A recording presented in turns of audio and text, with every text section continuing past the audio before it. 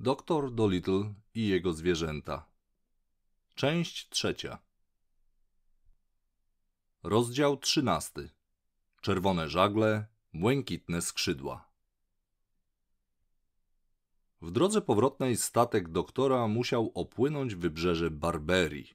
To dzikie, odludne miejsce, nic tylko piach i kamienie. Zamieszkiwali je berberyjscy piraci.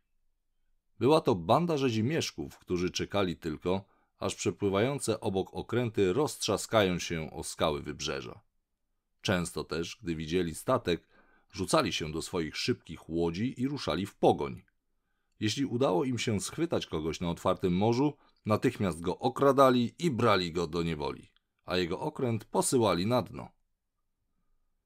Następnie wracali do Barberii, śpiewając wesołe pieśni, niezwykle z siebie dumni, że tak bardzo uprzykrzyli komuś życie. Swoim więźniom kazali pisać do krewnych listy z żądaniem okupu. Jeśli krewni nie wysyłali pieniędzy, piraci często rzucali pojmanych do morza. A teraz, pewnego słonecznego dnia, doktor i Dab-Dab przechadzali się właśnie po pokładzie, żeby rozprostować nogi. Wiał miły, ożywczy wiatr i wszyscy byli zadowoleni. Niespodziewanie Dab-Dab zobaczyła daleko za ich statkiem inny żagiel, czerwony. Mam złe przeczucia, powiedziała Dab-Dab. To chyba nie jest przyjazny statek. Będą z tego nowe kłopoty. Jeep, który drzemał na słońcu, nagle zaczął warczeć przez sen. Czuję pieczeń wołową, wymruczał. Niedopieczone mięso, zalane brązowym sosem. Wielkie nieba! zakrzyknął doktor. Co ten pies wyrabia? Nie dość, że gada, to jeszcze węszy przez sen? Na to wychodzi, powiedziała Dab-Dab. Wszystkie psy to potrafią. Ale co on właściwie czuje? spytał doktor. Przecież nie pieczemy wołowiny. Nie, przyznała Dab-Dab. Zapach musi dochodzić ze statku z czerwonym żaglem. Jest piętnaście kilometrów za nami, zauważył doktor. Pies nie wywąchałby nic z takiej odległości. Wywąchałby, powiedziała Dab-Dab. Sam go o to zapytaj. Wtedy Jeep, który nadal spał, zaczął warczeć, aż jego warga uniosła się, odsłaniając rząd czystych, białych zębów. Czuję złych ludzi, warknął. Najgorszych, jakich kiedykolwiek zwęszyłem. Czuję nosem kłopoty. Czuję, że będzie bitka. Sześciu łajdaków na jednego bohatera. Chcę mu pomóc. Hał, hał, hał! Szczeknął tak głośno, że aż sam się obudził. Rozejrzał się zaskoczony. Spójrz, zawołała Dab Dab. Tamta łódź jest coraz bliżej. Można policzyć jej żagle. Są trzy, wszystkie czerwone. Nie wiem, kto tam płynie, ale na pewno nas ściga. Ciekawe, kto to. Źli marynarze, oznajmił Jeep. Ich statek jest bardzo prędki. To na pewno piraci barberyjscy. Cóż, musimy postawić więcej żagli, stwierdził doktor. Wtedy popłyniemy szybciej i zdołamy im uciec. Zbiegnij pod pokład, Jeepie, i przynieś mi wszystkie żagle, jakie tam znajdziesz. Pies zbiegł po schodach i przywlókł wszystkie dostępne żagle. Jednak nawet kiedy wciągnięto je na maszty, łódź nadal sunęła o wiele wolniej od statku piratów, który z każdą chwilą zbliżał się coraz bardziej. Książę dał nam jakąś starą krypę, wyrzekał prosiaczek Gub-Gub. Sądzę, że najwolniejszą, jaką tylko miał. Równie dobrze moglibyśmy próbować uciec piratom w wazie do zupy. Patrzcie, jak są blisko. Widać już wąsy na twarzach rzezimieszków. Jest ich sześciu. Co robimy? Doktor poprosił Dab-Dab, żeby poleciała do jaskółek. Miała im opowiedzieć o piratach i poprosić o radę. Kiedy jaskółki o wszystkim się dowiedziały, obsiadły pokład wokół doktora. Poleciły mu rozplątać długie liny, żeby zrobić z nich mnóstwo cieniutkich sznurków, które następnie przywiązały do dziobu. Chwyciły je i poleciały ciągnąc za sobą łódź. Choć jaskółki w pojedynkę czy w parze nie są zbyt silne, całe stado to już zupełnie inna historia. Do statku doktora przywiązanych było tymczasem aż tysiąc sznurków, a każdy z nich ciągnęło dwa tysiące ptaków, prawdziwych asów przez stworzy. Nie minęło wiele czasu, a rozwinęły taką prędkość, że doktor musiał dociskać do głowy kapelusz obydwoma rękami. Czuł, że statek niemal unosi się na falach. Płynął tak szybko, że woda pod nimi pieniła się i syczała. Zwierzęta na pokładzie zaczęły śmiać się i tańczyć z rozwianym futrem, bo kiedy spoglądały w tył na statek piracki, widziały, że robi się coraz mniejszy. Czerwone żagle zostały daleko, daleko w tyle. Rozdział czternasty. Szczurza przestroga. Niełatwo jest ciągnąć za sobą cały statek. Po dwóch czy trzech godzinach jaskółki zaczęły się męczyć. Dyszały ciężko, bolały je skrzydła. Dały więc znak doktorowi, że niedługo będą musiały odpocząć. Zamierzały zaciągnąć statek na położoną niedaleko wyspę, żeby ukryć go w głębokiej zatoce, póki trochę nie odsapną i nie będą gotowe ruszyć dalej. Doktor spojrzał na wyspę, o której mówiły. Była bardzo piękna, a na jej środku wznosiła się porośnięta zielenią góra. Kiedy statek wpłynął już bezpiecznie do zatoki, tak że nie było go widać od strony morza, doktor powiedział, że chętnie zejdzie na ląd, żeby poszukać wody, bo załodze nie zostało już nic do picia. Poradził zwierzętom, żeby też poszły rozprostować łapy. Kiedy schodzili na wybrzeże, doktor zauważył, że dołączyło do nich całe stado szczurów, które wyszły spod pokładu. Jeep zaczął je gonić, bo zawsze uwielbiał łapać gryzonie, ale doktor kazał mu przestać. Wielki czarny szczur, który najwyraźniej miał doktorowi coś do powiedzenia, przydreptał nieśmiało po relingu, kątem oka przez cały czas obserwując psa. Zakaszlał nerwowo dwa czy trzy razy, oczyścił wąsiki, otarł pyszczek i powiedział: Cóż, z pewnością wiesz, doktorze, że na wszystkich statkach są szczury. Owszem, przyznał doktor. A czy słyszałeś, że szczury zawsze uciekają z tonącego okrętu? Tak, odpowiedział doktor. Obiło mi się o uszy. Ludzie zawsze kwitują to szyderczym uśmieszkiem, jakby chodziło o coś, czego należy się wstydzić. A przecież nie sposób mieć do nas pretensji, prawda? Kto chciałby zostać na tonącym okręcie, gdyby mógł z niego uciec? Ma to sens, przyznał doktor. Ma to sens. Rozumiem, co masz na myśli. Czy chciałeś mi powiedzieć coś jeszcze? Tak, przyznał szczur. Przyszedłem oznajmić, że opuszczamy ten statek. Postanowiłem cię ostrzec. To zły statek, niebezpieczny. Burty są za słabe, a deski przegniłe.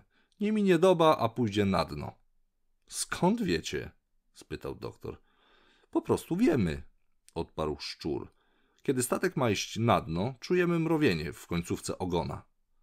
Trochę jakby sierpły nam nogi. Dziś o szóstej rano, kiedy jadłem śniadanie, nagle poczułem mrowienie ogona. Początkowo uznałem, że to tylko nawrót reumatyzmu, więc poszedłem zapytać ciotkę, jak się czuje. Pamiętasz moją ciotkę? Długą, chudą, łaciatą szczurzycę, która przyszła do twojego gabinetu w Puddleby zeszłej wiosny, bo chorowała na żółtaczkę. Cóż, powiedziała, że też czuje mrowienie w ogonie. I to jakie?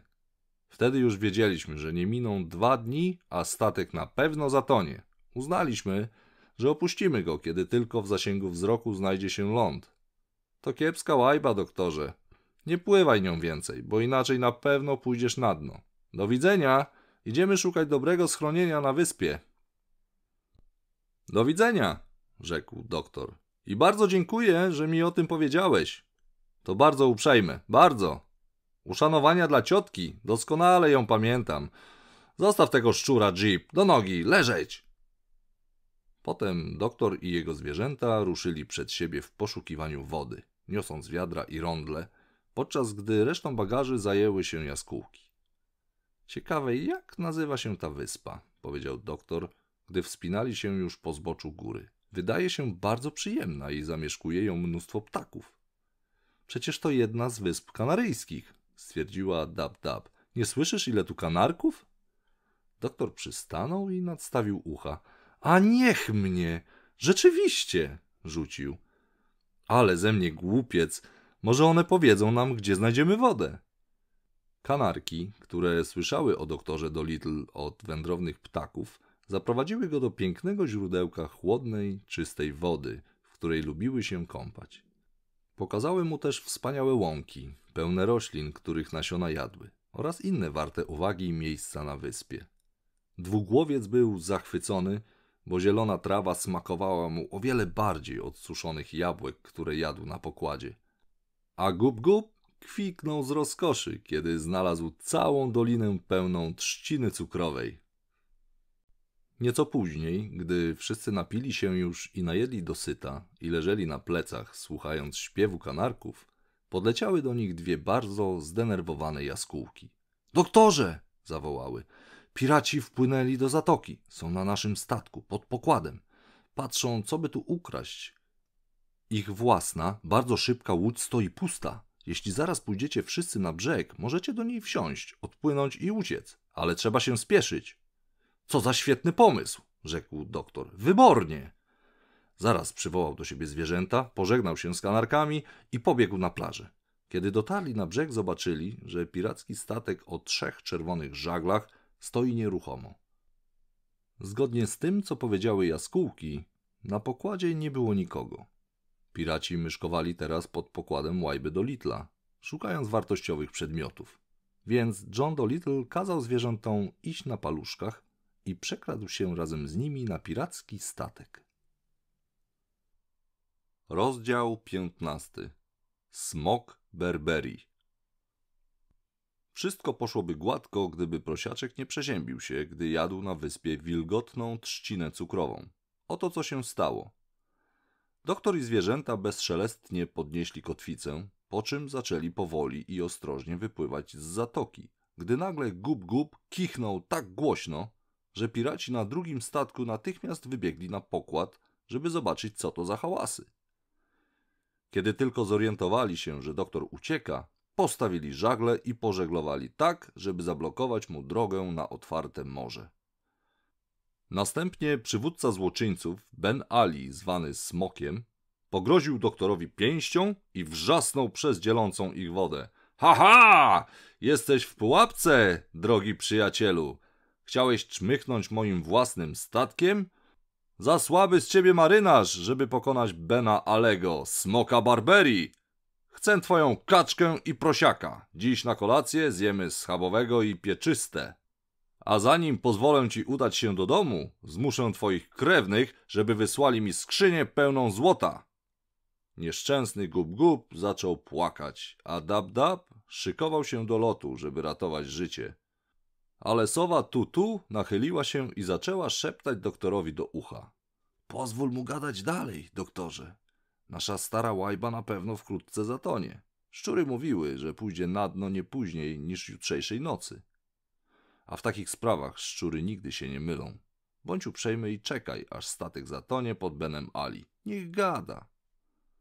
Chwila, do jutrzejszej nocy? spytał doktor. Cóż, zrobię co będę mógł. Zastanówmy się, o czym mógłbym z nim porozmawiać.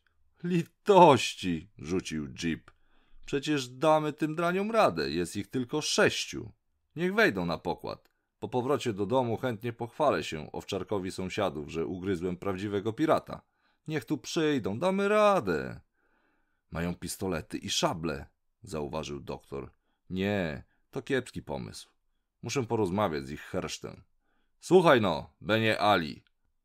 Ale zanim doktor zdążył powiedzieć coś więcej, piraci zaczęli podpływać coraz bliżej. Śmiali się gromko i zastanawiali na głos, który z nich jako pierwszy zdoła złapać prosiaka.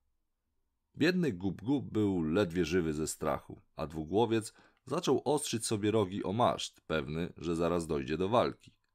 Tymczasem Jeep wyskakiwał w górę z czterech łap i szczekał, śląc pod adresem Bena Alego najgorsze wyzwiska w języku psów. Niespodziewanie piratom zepsuł się humor. Przestali śmiać się i żartować. Wyglądali na zaniepokojonych. Coś było nie tak. Ben Ali zerknął pod nogi i ryknął: A niech to piorun trzaśnie! Panowie, łódź przecieka! Pozostali piraci wyjrzeli za burtę i zorientowali się, że łódź rzeczywiście zanurza się coraz głębiej i głębiej. Jeden z nich odezwał się do Bena Alego. Przecież gdyby tonęła, zobaczylibyśmy uciekające szczury. Wy durnie! wrzasnął do nich jeep z pokładu drugiego statku. Nie było ich już na pokładzie. Zawinęły się dwie godziny temu. Ten się śmieje, kto się śmieje ostatni, drodzy przyjaciele. Ale oni go rzecz jasna nie rozumieli. Dziób zanurzał się coraz szybciej, aż wreszcie wydawało się, że cały statek stoi na głowie. Piraci chwytali się relingu, masztów i lin, żeby nie spaść do morza, ale chwilę później woda wtargnęła z rykiem do środka przez okna i drzwi. Statek poszedł na dno jak kamień, wydając przy tym złowrogi bulgot. Sześciu złoczyńców dryfowało teraz na falach w zatoce. Niektórzy ruszyli w pław w kierunku wyspy, ale inni próbowali dostać się na łódź, którą zajął doktor. Tyle, że Jeep kłapał groźnie zębami, więc bali się wspiąć na pokład. Nagle wszyscy wydali zbiorowy jęk strachu. Rekiny! Rekiny nadpływają! Dajcie nam wejść, zanim nas zjedzą! Pomocy! Rekiny! Rekiny! Doktor też widział, jak wodę zatoki przecinają płetwy wielkich ryb. Jeden z żarłaczy podpłynął do statku, wystawił nos z wody i spytał: Czy to pan John Dolittle, słynny lekarz zwierząt? Tak, odparł doktor. To ja. Cóż, rzekł rekin. Wiemy, że ci piraci to typki spod ciemnej gwiazdy, szczególnie Ben Ali. Jeśli wam przeszkadzają, chętnie ich schrupiemy. Będziecie mieli spokój. Dziękuję, powiedział doktor. To naprawdę bardzo uprzejme z waszej strony, ale nie sądzę, by pożarcie piratów było konieczne. Nie pozwólcie im dotrzeć do brzegu, póki nie dam wam znaku. Niech pływają w kółko, dobrze? I proszę was, skłoncie Bena Alego, by tu podpłynął, bo chcę z nim porozmawiać. Rekiny posłusznie zagoniły Bena Alego do doktora. Posłuchaj, Benie Ali, rzekł John Dolittle, przechylając się przez reling. Byłeś bardzo złym człowiekiem. Jak rozumiem, wielokrotnym mordercą. Te oto rekiny zaoferowały uprzejmie, że pożrą cię, żeby ułatwić mi życie. Bez ciebie może rzeczywiście stałoby się bezpieczniejsze. Ale jeśli obiecasz, że postąpisz jak ci powiem, puszczę cię wolno. Co mam zrobić? spytał pirat, zerkając na wielkiego rekina, który obwąchiwał pod wodą jego nogę. Nie wolno ci zabić już nikogo więcej, powiedział doktor. Przestaniesz też kraść. Musisz zrezygnować z zatapiania statków. Porzuć życie pirata. To czym się będę zajmował? spytał Ben Ali. Z czego będę żył? Ty i twoi ludzie musicie udać się na wyspę i zacząć uprawiać karmę dla ptaków, odparł doktor. To znaczy, będziecie uprawiali rośliny, których nasiona jedzą kanarki. Smok Berberi zbladł z wściekłości. Karma dla ptaków? Jęknął z obrzydzeniem. A nie mogę chociaż zostać marynarzem? Nie, powiedział doktor, nie możesz. Byłeś nim już wystarczająco długo. Posłałeś wiele statków i wielu dobrych ludzi na dno morza. Resztę życia musisz spędzić jako spokojny rolnik. Rekin czeka, nie marnuj dłużej jego czasu. Zdecyduj się. Niech to piorun strzeli, wymamrotał Ben Ali. Karma dla kanarków. Potem znów spojrzał w wodę i zobaczył, że wielki rekin obwąchuje mu drugą nogę. Niech będzie, rzekł ze smutkiem. Zostaniemy rolnikami. Ale pamiętaj, powiedział doktor, że jeśli złamiesz daną obietnicę i znów zaczniesz kraść i zabijać, dowiem się o tym, bo kanarki przylecą wszystko mi powiedzieć. Bądź pewien, że wymyślę dla ciebie odpowiednią karę. Bo choć nie potrafię żeglować tak dobrze jak ty, póki mam za przyjaciół zwierzęta lądowe i wodne, nie muszę bać się pirackiego wodza, choćby nawet nazywał się smokiem Berberi. A teraz płyń na wyspę, gdzie czeka cię nowe, spokojne życie rolnika. Następnie doktor spojrzał na wielkiego rekina, machnął ręką i powiedział: W porządku. Pozwólcie im dopłynąć do brzegu. Rozdział szesnasty. Tu nadstawia ucha. Doktor raz jeszcze pięknie podziękował rekinom za pomoc po czym razem ze zwierzętami ruszył w dalszą drogę do domu, teraz już na pokładzie prędkiego statku o trzech czerwonych żaglach. Gdy wypłynęli na otwarte morze, zwierzęta zeszły pod pokład, żeby zobaczyć swój nowy nabytek od wewnątrz. Tymczasem doktor stał na rufie, oparty o reling, ćmił fajkę i patrzył na wyspy kanaryjskie, które oddalały się i niknęły w gęstniejącym wieczornym mroku. Zastanawiał się właśnie, jak radzą sobie bez niego małpy i jak wyglądać będzie jego ogród, kiedy wróci już do Paddleby, kiedy na pokład wdrapała się po schodach Dab-Dab. Była tak zachwycona, że dziób jej się nie zamykał. Doktorze! zawołała. Ten piracki statek to prawdziwe cudo, bez dwóch zdań. Na łóżkach leży jedwabna pościel i całe mnóstwo wielgachnych poduszek, a na podłodze grube, miękkie dywany. Cała zastawa jest ze srebra, a specjałów i pyszności do jedzenia i picia na pewno nam nie zabraknie. Spiżarnia wygląda jak sklep. Nigdy w życiu czegoś takiego nie widziałeś. Posłuchaj tylko, piraci trzymali tu pięć różnych rodzajów sardynek. Chodź zobaczyć. Aha, znaleźliśmy też niewielki pokój, ale prowadzące do niego drzwi są zamknięte na klucz. Koniecznie chcemy dostać się do środka i zobaczyć, co tam jest.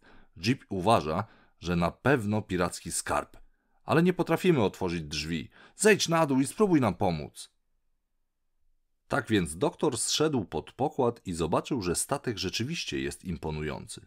Zwierzęta stały wokół niewielkich drzwiczek. Mówiły jedno przez drugie, usiłując zgadnąć, co kryje się po drugiej stronie. Doktor nacisnął klamkę, ale drzwi nie puściły. Rozpoczęto więc poszukiwania klucza. Zwierzęta zerknęły pod słomiankę, potem zajrzały pod wszystkie dywany, do szaf, szafek i szuflad, przeszukały pękate skrzynie stojące w mesie, spojrzały wszędzie, gdzie tylko się dało. Znalazły przy okazji wiele wspaniałych, pięknych przedmiotów, które piraci najwyraźniej ukradli z innych statków. Kaszmirowe szale wyszywane w złote kwiaty, tak delikatne, jakby utkano je z pajęczyny. Słoiki wyśmienitego jamańskiego tytoniu, rzeźbione szkatułki z kości słoniowej, pełne liści rosyjskiej herbaty, stare skrzypce z pękniętą struną i obrazem namalowanym z tyłu pudła, zestaw figur szachowych z masy koralowej i bursztynu, laseczkę do podpierania się przy chodzeniu, w której ukryta była szpada, sześć kieliszków do wina o turkusowo-srebrnych brzegach, a do tego wspaniałą cukiernicę z masy perłowej. Jednak klucza, który pasowałby do zamkniętych drzwi, nigdzie nie było. Wszyscy znów więc do nich podeszli, a Jeep zerknął przez dziurkę od klucza. Ale po drugiej stronie najwyraźniej ustawione było coś dużego, bo nic nie zobaczył. Kiedy tak stali niepewni, co robić dalej, nagle odezwała się Tutu. Ciii! Słuchajcie! Po drugiej stronie chyba ktoś jest. Wszyscy zamilkli. Zdaje ci się, stwierdził w końcu doktor. Nic nie słychać. Nie mam cienia wątpliwości, powiedziała sowa. Oho, znowu to słyszałam. Wy nie? Nie, odparł doktor. Co to konkretnie za dźwięk? Brzmi, jakby ktoś wsuwał dłoń do kieszeni, powiedziała sowa. Przecież czegoś takiego właściwie nie słychać, stwierdził doktor. A ty jesteś po drugiej stronie drzwi. Niemożliwe. Wypraszam sobie, rzuciła Tutu.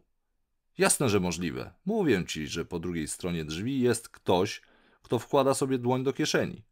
Niemal każdy ruch wydaje jakiś dźwięk, jeśli tylko ma się wystarczająco czuły słuch, żeby go wychwycić. Nietoperze słyszą nawet ruchy kreta ryjącego głęboko pod ziemią. Dlatego są bardzo dumne ze swoich uszu, ale my, sowy, potrafimy stwierdzić, jakiego koloru jest futro siedzącego w ciemności kociaka. Starczy, że jednym uchem usłyszymy, jak mruży oczy. A niech mnie! mruknął doktor. Jestem pod wrażeniem. To bardzo ciekawe. Wsłuchaj się raz jeszcze i powiedz, co teraz robi nieznajomy.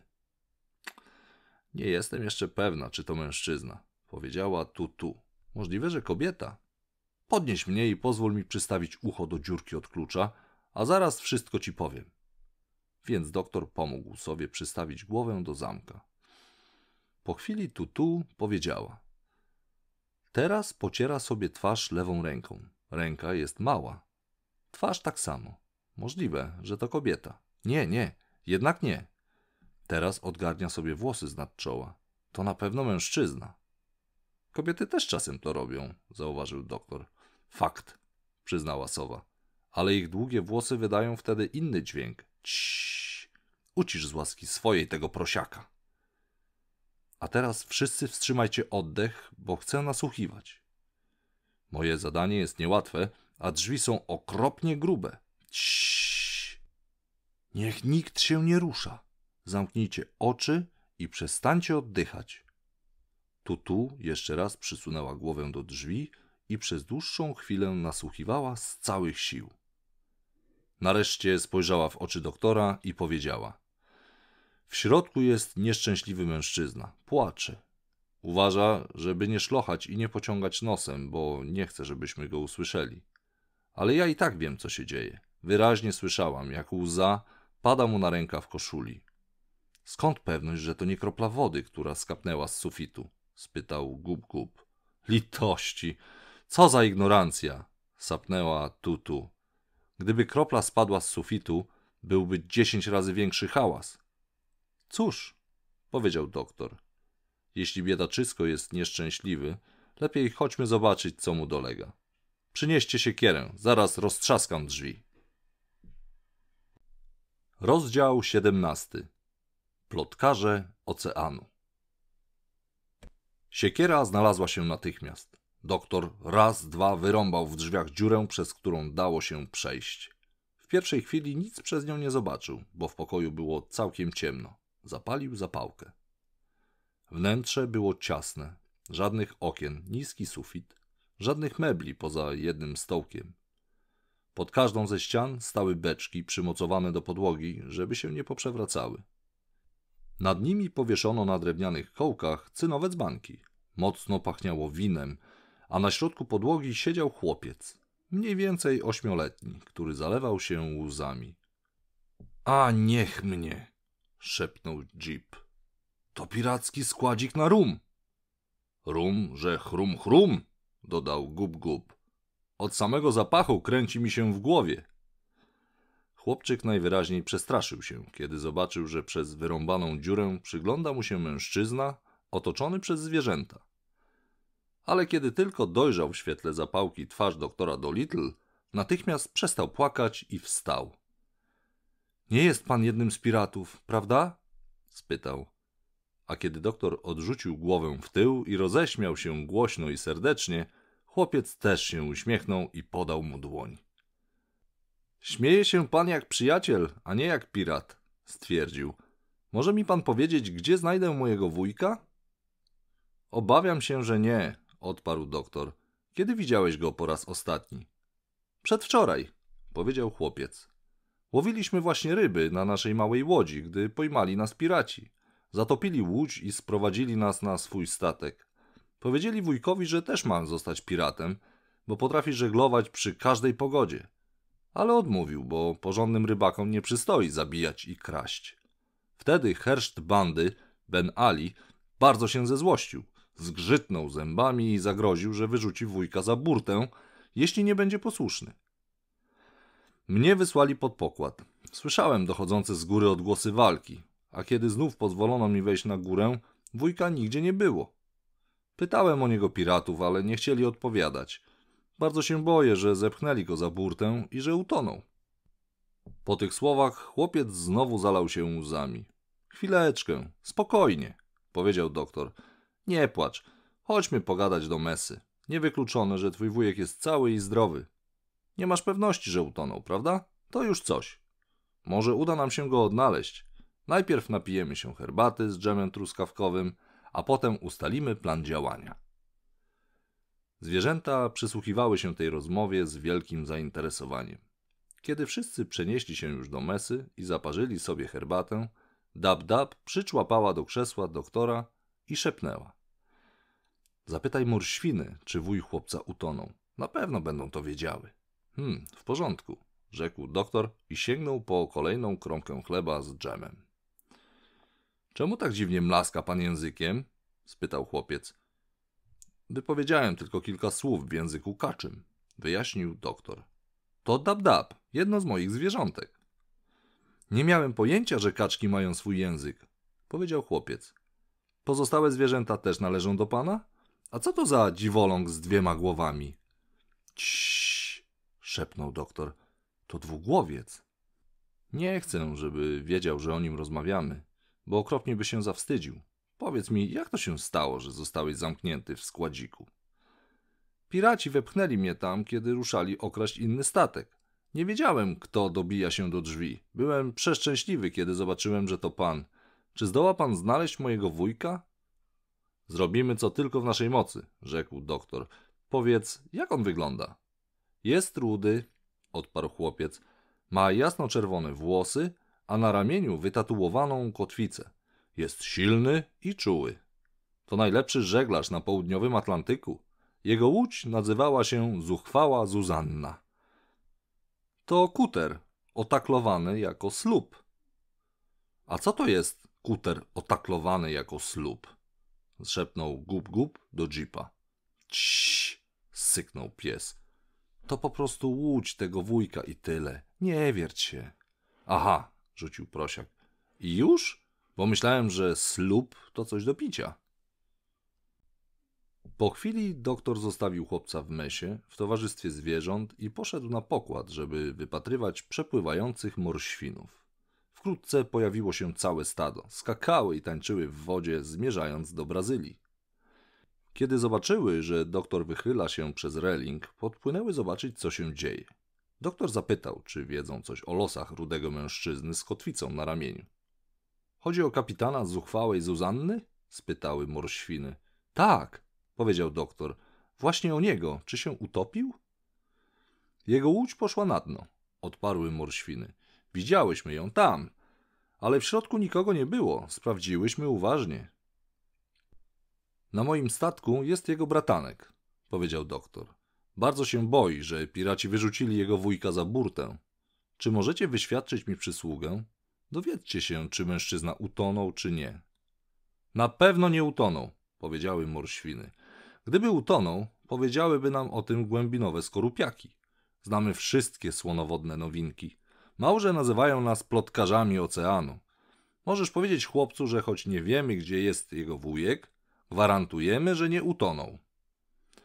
Więc doktor pobiegł na pokład i przekazał wieści chłopcu, który zaklaskał w dłonie z radości.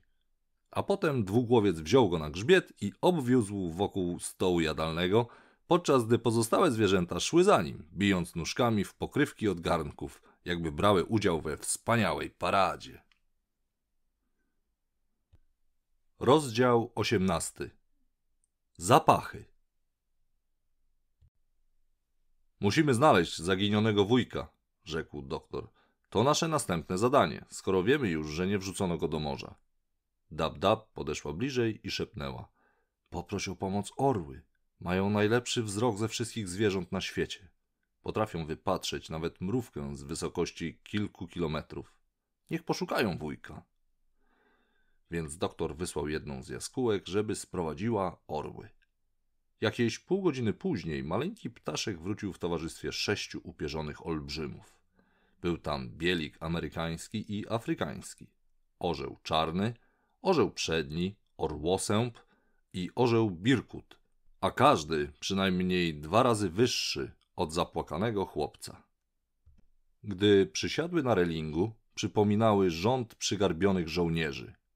Poważnych, nieruchomych i czujnych. Tylko spojrzenia ich czarnych oczu przemykały to tu, to tam.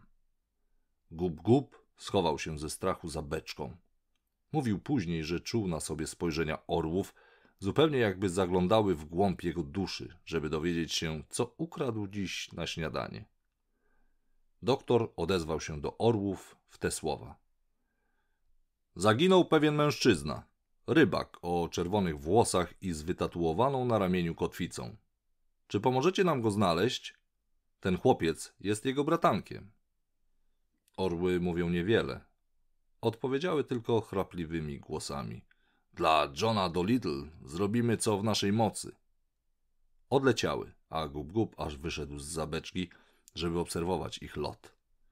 Były coraz wyżej i wyżej, i wyżej, i wyżej, i jeszcze wyżej, a potem, kiedy doktor niemal już ich nie widział, rozdzieliły się i poleciały w cztery strony świata na północ, południe, wschód i zachód. Wyglądały na tle niebieskiego nieba niczym maleńkie ciemne kropki. O rany! szepnął Gub Gub. Co za pułap! Aż dziw, że pióra im się nie spalą, przecież latają tak blisko słońca. Orły wróciły dopiero późnym wieczorem. Powiedziały doktorowi. Przepatrzyłyśmy wszystkie morza, kraje, wyspy, miasta i wioski po tej stronie świata. Ale nie powiodło się nam. Na głównej ulicy Gibraltaru przed piekarnią zauważyłyśmy taczkę, na której leżały trzy rude włosy. nie pochodziły jednak z głowy ludzkiej, a z futrzanego płaszcza. Ani na ziemi, ani w wodzie, ani w ogóle nigdzie nie dostrzegłyśmy śladów wujka tego chłopca. A skoro nam się to nie udało, najwyraźniej zobaczyć go po prostu nie sposób. Dla Johna Dolittle zrobiłyśmy co w naszej mocy. Potem sześć wielkich ptaków załopotało skrzydłami i odleciało z powrotem do swych górskich gniazd. No, powiedziała Dab Dab, gdy już ich nie było. To co teraz zrobimy? Przecież musimy odnaleźć zaginionego wujka, bez dwóch zdań. Ten chłopiec jest zbyt młody, żeby rozbijać się po świecie w pojedynkę. Chłopcy nie są jak kaczęta, wymagają opieki przez długie lata. Szkoda, że nie ma z nami Chi-Chi. Ona na pewno znalazłaby tego mężczyznę. Poczciwa Chi-Chi. Ciekawe, jak sobie radzi. Szkoda, że nie ma z nami Polinezji, dodała biała myszka. Ona na pewno by coś wymyśliła. Pamiętacie, jak uwolniła nas z więzienia? I to dwa razy? Ależ z niej było łebskie ptaszysko. Nie imponują mi te orły, stwierdził Jeep. Niepotrzebnie zadzierają dzioba. Niby mają dobry wzrok, ale kiedy poprosić je, żeby kogoś znalazły, zaraz dają plamę. I jeszcze mają czelność przylecieć, żeby powiedzieć, że nikt inny na pewno też nie dałby sobie rady. Są zarozumiałe. Jak ten owczarek z Puddleby. O plotkujących morświnach też nie mam zbyt wysokiego mniemania. Powiedziały tylko, że faceta nie ma w morzu. A przecież nie pytaliśmy, gdzie go nie ma, tylko gdzie jest. Przestań kłapać jadaczką, uciął Gub Gub. Gadać każdy potrafi, to łatwe. Trudniej znaleźć kogoś, kto może być teraz zupełnie wszędzie. Możliwe, że rybak, którego szukamy, tak bardzo martwił się o bratanka, że całkiem osiwiał i dlatego orły nie dały rady go wypatrzeć. Nie pozjadałeś wszystkich rozumów, tylko siedzisz i gadasz. Nawet nie próbujesz pomóc. Wiesz, że nie dorastasz orłom do pięt i nie poradziłbyś sobie nawet w połowie tak dobrze jak one. Ja? spytał pies. Nie masz pojęcia, o czym mówisz, ty głupia słonino. Jeszcze nie zacząłem działać, prawda? Ja ci pokażę. Zaraz podszedł do doktora. Zapytaj chłopca, czy ma w kieszeni coś, co należało do jego wujka, dobrze? Poprosił. Więc doktor powtórzył pytanie. Chłopak pokazał mu złoty pierścionek, który nosił na sznurku na szyi, bo był zbyt duży na jego palec. Wyjaśnił, że wuj dał mu go, gdy zobaczył, że zbliżają się piraci. Jeep powąchał pierścionek i powiedział: Nic z tego. Spytaj, czy ma coś jeszcze, co należało do wujka. Następnie chłopiec wyciągnął z kieszeni wielką, czerwoną chustę. Wujek ją nosił, wyjaśnił. Jeep skoczył na równe łapy. Na psa urok! Tabaka! Czarna tabaka! Rapé! Czujesz, doktorze? Spytaj chłopca, czy jego wuj zażywał tabakę. Tak, powiedział chłopiec. Robił to bardzo często. Świetnie, orzekł Jeep. Właściwie już go mamy. To banał, jakby zabierać kociakowi mleko. Powiedz chłopcu, że znajdę jego wuja w mniej niż tydzień. Chodźmy na pokład i sprawdźmy, w którą stronę wieje wiatr. Ale już ciemno, zaprotestował doktor. Po ciemku go nie znajdziesz. Nie trzeba mi światła, żeby znaleźć kogoś, kto pachnie tabaką rapé, rzekł Jeep, wspinając się po schodach. Gdyby pachniał czymś, co trudno wyczuć, na przykład sznurkiem czy gorącą wodą, byłaby inna rozmowa. Ale tabaka? Też mi coś. Gorąca woda ma własny zapach? spytał doktor. No jasne, odparł Jeep. Pachnie zupełnie inaczej od zimnej. Najtrudniej wyczuć właśnie gorącą wodę. I lód.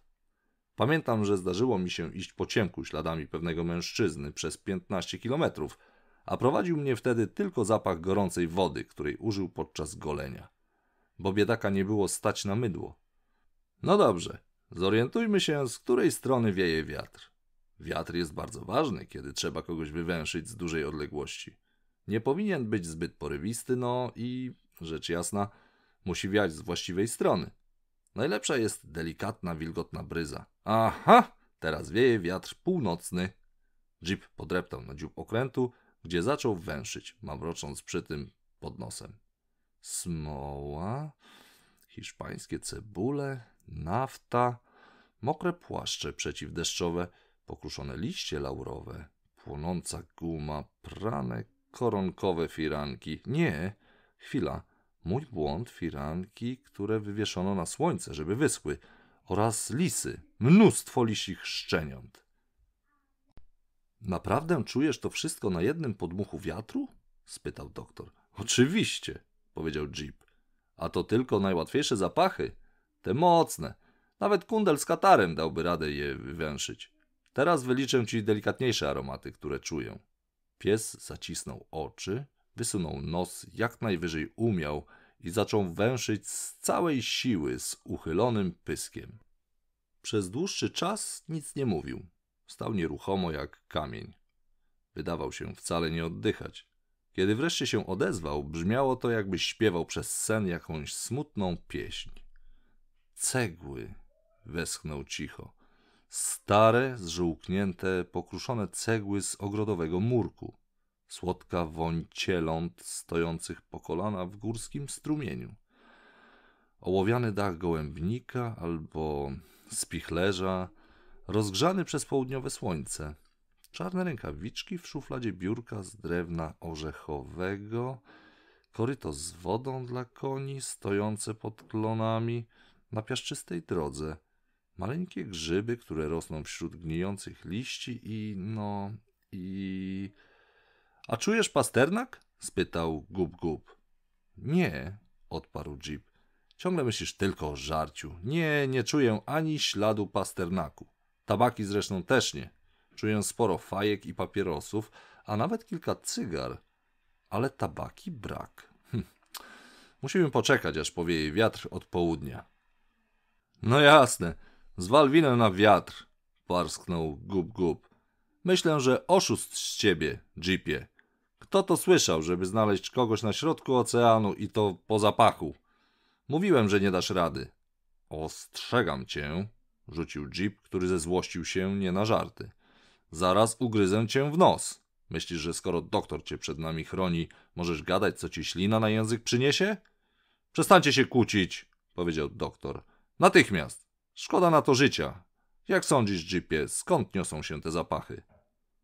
Z Davon i Wali. Przynajmniej większość z nich, powiedział Jeep. Wiatr wieje właśnie stamtąd. No, no, powiedział doktor. To naprawdę niesamowite. Muszę napisać o tym w mojej nowej książce. Ciekaw jestem, czy dałbyś radę mnie wyszkolić, żebym też miał taki dobry węch. Ale nie, chyba nie będę kombinował. Jak to mówią, lepsze jest wrogiem dobrego. A teraz chodźmy na kolację. Zgłodniałem. Ja też, dorzucił natychmiast gub gub. Rozdział dziewiętnasty. Skała. Następnego dnia obudzili się wczesnym rankiem i wstali ze swoich zasłanych jedwabiem łóżek. Słońce świeciło jasno, a wiatr wiał od południa. Jeep węszył przez jakieś pół godziny, a potem podszedł do doktora i pokręcił głową. Póki co nie wyczułem tabaki, powiedział. Musimy poczekać, aż powieje wiatr wschodni. Ale nawet kiedy o trzeciej po południu rzeczywiście powiał wiatr ze wschodu, pies również nic na nim nie wyczuł. Chłopiec był tak zawiedziony, że znów zaczął płakać. Powtarzał, że nikt nie potrafi znaleźć jego wujka, ale Jeep powiedział doktorowi tylko tyle. Wyjaśnij, że kiedy wiatr powieje z zachodu, znajdę wujka, choćby był i w Chinach, o ile tylko nadal zażywa tę samą tabakę.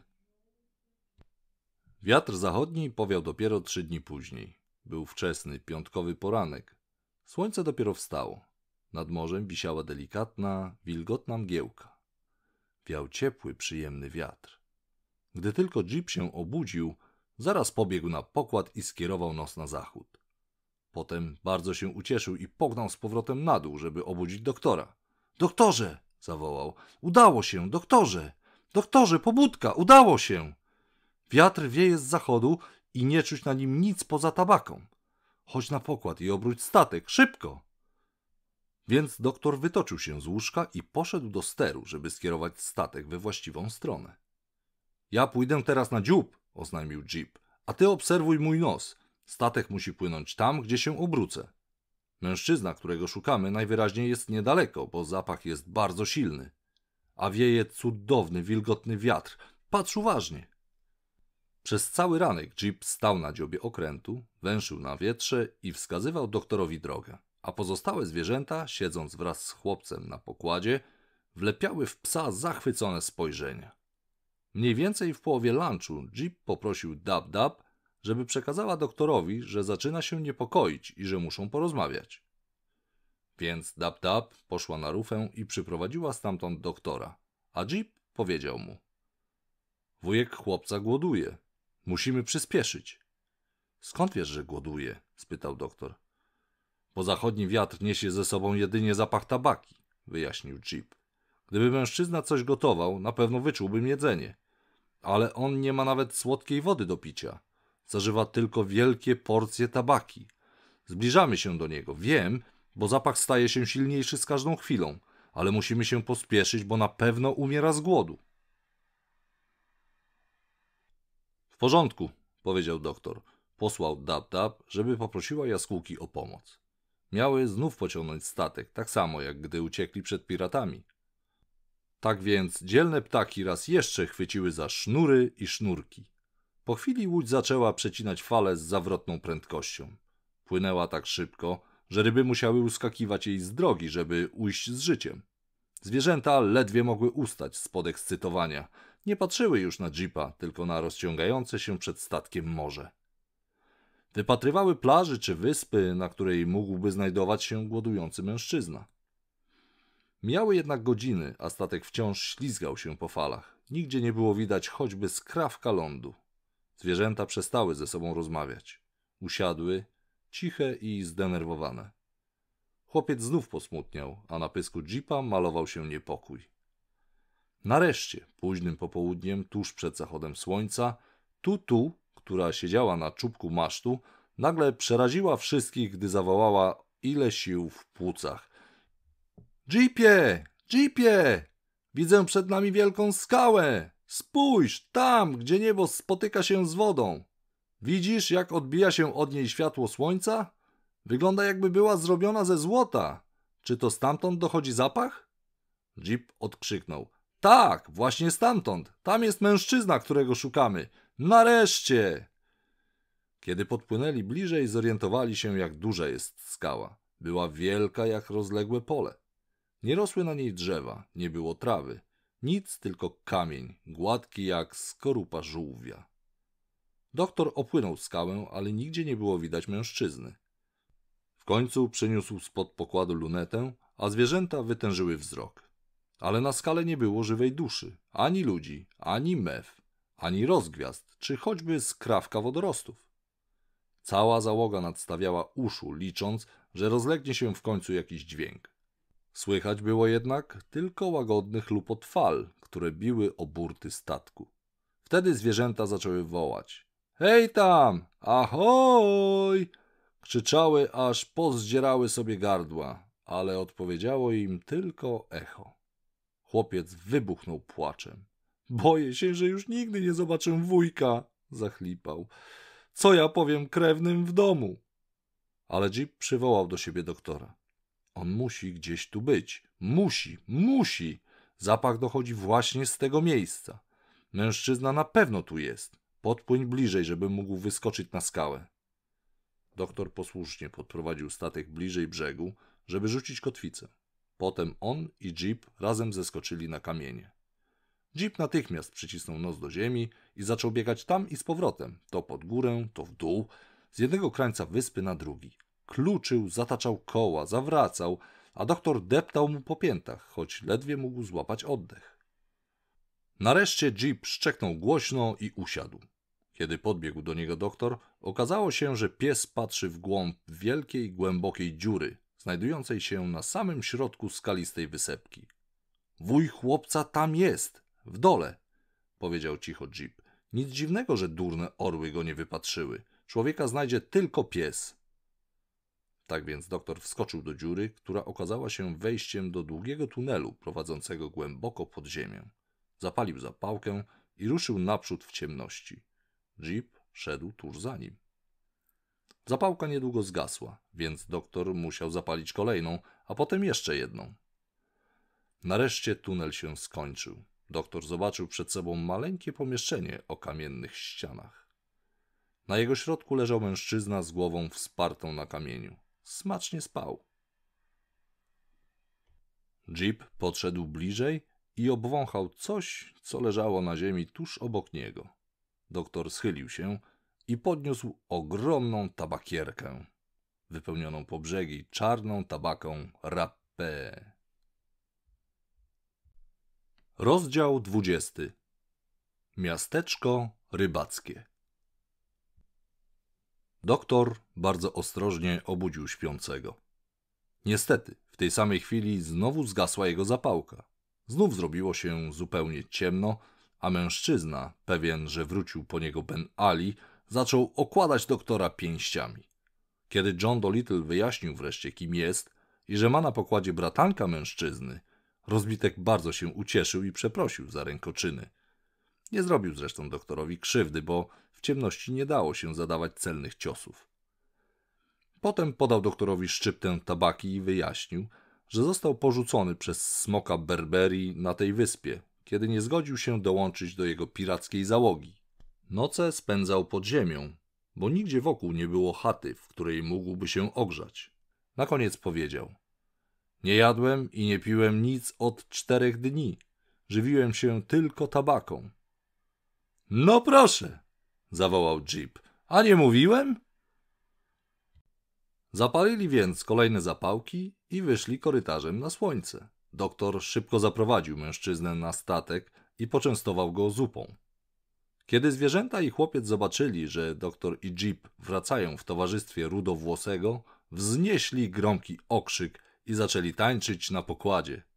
Tysiące krążących nad nimi jaskółek zagwizdało ile sił w płucach, żeby pokazać, jak bardzo się cieszą, że dzielny wujek chłopca został odnaleziony. Hałas był taki, że żeglujący w okolicy marynarze przerazili się, że nadciąga straszliwy sztorm. Słuchajcie, jak ryczy wicher, hen na wschodzie, mówili jeden do drugiego. Jeep chodził dumny jak paw, choć starał się przy tym nie zadzierać nosa. Kiedy Dab Dab podeszła i powiedziała: Nie miałam pojęcia, że jesteś taki mądry. Rzucił tylko głową i odparł: Och, to nic takiego. Ale człowieka znaleźć umie tylko pies. Ptaki nie mają do tego głowy. Potem doktor zapytał rudego rybaka, gdzie znajduje się jego dom. Gdy poznał odpowiedź, polecił jaskółką pociągnąć statek właśnie w tamtą stronę. Kiedy dotarli do lądu, zobaczyli małe miasteczko rybackie położone u podnóża skalistej góry. Mężczyzna wskazał im dom, w którym dawniej mieszkał. Rzucili kotwicę, a matka chłopca, która była zarazem siostrą Rudego, wybiegła na brzeg i popędziła w ich stronę, śmiejąc się i płacząc jednocześnie. Od dwudziestu dni siedziała na wzgórzu i patrzyła w morze, czekając na powrót bliskich. Obcałowała doktora, aż się zaczerwienił i rozchichotał jak mała dziewczynka. Następnie spróbowała pocałować jeepa, ale pies uciekł i schował się na statku. Durny zwyczaj takie całowanie, stwierdził. Ja się na to nie piszę. Niech pocałuje prosiaczka gub gub, jeśli już koniecznie kogoś musi. Rybak i jego siostra nie chcieli, żeby doktor zbyt szybko ich opuścił. Błagali, żeby spędził z nimi chociaż kilka dni, więc John Dolittle i jego zwierzęta musieli zostać na całą sobotę i niedzielę, a do tego jeszcze pół poniedziałku. Tym czasie wszyscy mieszkający w miasteczku chłopcy chodzili na plażę, wskazywali na stojący na kotwicy okręt i szeptali do siebie z przejęciem. Patrzcie, to był piracki statek Bena Alego, najstraszniejszego pirata siedmiu mórz. Starszy pan, który nosi na głowie cylinder i mieszka teraz u pani Trevelyan, odebrał statek smokowi Barberii i kazał mu zostać rolnikiem. Kto by pomyślał? Taki łagodny człowiek. Spójrzcie tylko na czerwone żagle. Łajba wygląda złowieszczo. I jest szybka jak błyskawica. O rany! Przez dwa i pół dnia, które doktor spędził w miasteczku, jego mieszkańcy wciąż zapraszali go to na herbatę, a to na lunch, kolację czy przyjęcie. Kobiety wysyłały mu czekoladki i kwiaty, a miejscowy zespół muzyczny co wieczór koncertował pod jego oknem. W końcu doktor oznajmił: Dobrzy ludzie, muszę wracać do domu. Wspaniale mnie potraktowaliście i nigdy tego nie zapomnę. Ale na mnie już naprawdę czas. Mam kilka ważnych spraw do załatwienia. W dniu wyjazdu przyszedł do niego burmistrz w towarzystwie wielu wystrojonych urzędników. Przemaszerowali ulicą, po czym stanęli przed domem, w którym mieszkał doktor. Wszyscy mieszkańcy miasteczka przyszli zobaczyć, co będzie dalej. Sześciu paziów dmuchnęło w lśniące trąbki, żeby zebrani przestali gadać. Potem doktor wyszedł na ganek, a burmistrz odezwał się do niego w te słowa. Doktorze Johnie Dolittle, z ogromną radością przekazuję panu, który uwolniłeś morza od smoka Barberii, ten oto drobiazg w dowód wdzięczności mieszkańców naszego dumnego miasteczka. Burmistrz wyciągnął z kieszeni małe zawiniątko, rozwinął papier i podał doktorowi zjawiskowy zegarek wysadzany prawdziwymi diamentami. Następnie wyciągnął z kieszeni większą paczuszkę i zapytał: A gdzie jest pies? Wszyscy zaczęli szukać jeepa. Ostatecznie znalazła go Dab Dab. Był na drugim końcu miasteczka, w stajni, otoczony przez krąg okolicznych psiaków, które wpatrywały się w niego z milczącym uwielbieniem. Kiedy doprowadzono go już do doktora, burmistrz otworzył swój pakunek. W środku znajdowała się obroża z czystego złota. Mieszkańcy miasteczka zaszemrali z zachwytem, a burmistrz schylił się i własnoręcznie zapiął obrożę na szyi psa.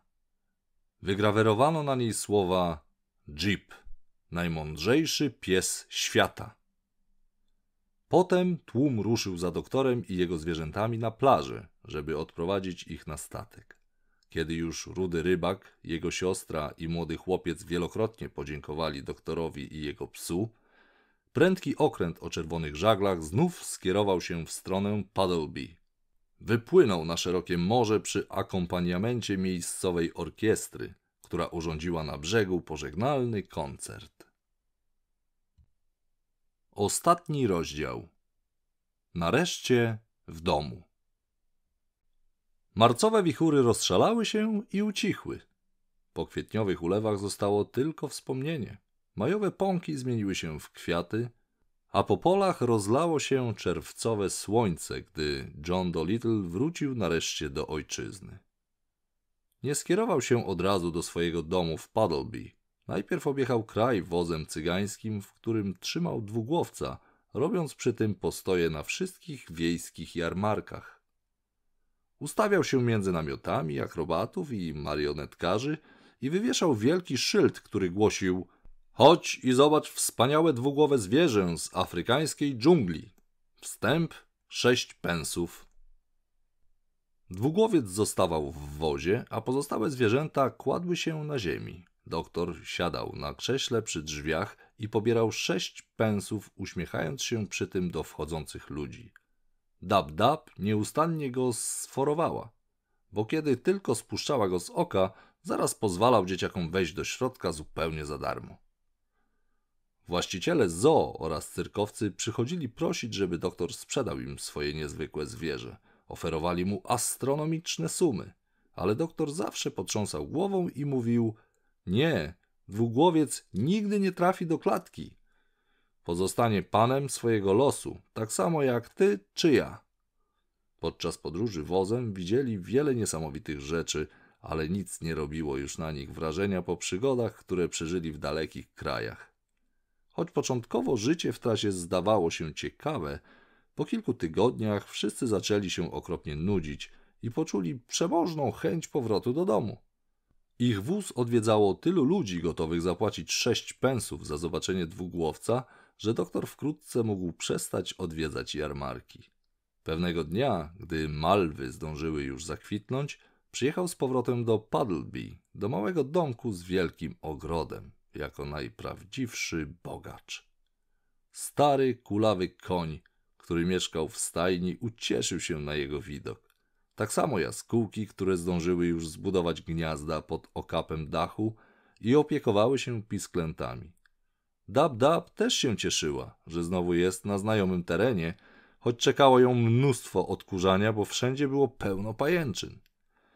Kiedy Jeep pokazał już swoją złotą obrożę zarozumiałemu owczarkowi z sąsiedztwa, wrócił do ogrodu i zaczął biegać w kółko jak postrzelony. Szukał dawno zakopanych kości i przeganiał szczury z szopy na narzędzia.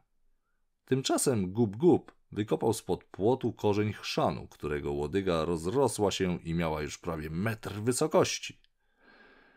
Doktor ruszył na spotkanie z marynarzem, od którego pożyczył łódź. W ramach zapłaty kupił mu dwa inne statki i jeszcze lalkę dla jego dziecka. Zapłacił też sklepikarzowi za prowiant potrzebny na wyprawę, który swojego czasu dostał na kredyt. Następnie sprawił sobie nowe pianino i przeniósł do niego białe myszki, bo usłyszał od nich, że w sekretarzyku są okropne przeciągi. Wypełnił pieniędzmi starą skarbonkę, która stała na komodzie, a i tak nie wszystko się zmieściło. Musiał kupić jeszcze trzy kolejne pojemniki takich samych rozmiarów. Pieniądze to prawdziwe utrapienie, powiedział. Ale jednak miło jest nie musieć się martwić o jutro. Tak, przyznała Dab Dab, która właśnie opiekała mu bułeczki na podwieczorek. Szczera prawda. A potem znów nadeszła zima i śnieg przesłonił kuchenne okno. Po kolacji doktor siadał ze zwierzętami wokół pieca, żeby się ogrzać i czytać im na głos fragmenty swoich książek. A tymczasem w odległej Afryce małpy, które układały się powoli do snu pod wielkim, żółtym księżycem, gawędziły w koronach drzew palmowych. Ciekawe, jak radzi sobie nasz dobrodziej w krainie białych ludzi, mówiły jedna do drugiej. Uważacie, że jeszcze kiedyś do nas wróci? A Polinezja skrzeczała do nich z gąszczu winorośli. Tak myślę, tak mi się wydaje. No, taką mam nadzieję. Potem zaś odzywał się burkliwie krokodyl do połowy zanurzony w mule. Na pewno wróci. A teraz idźcie spać.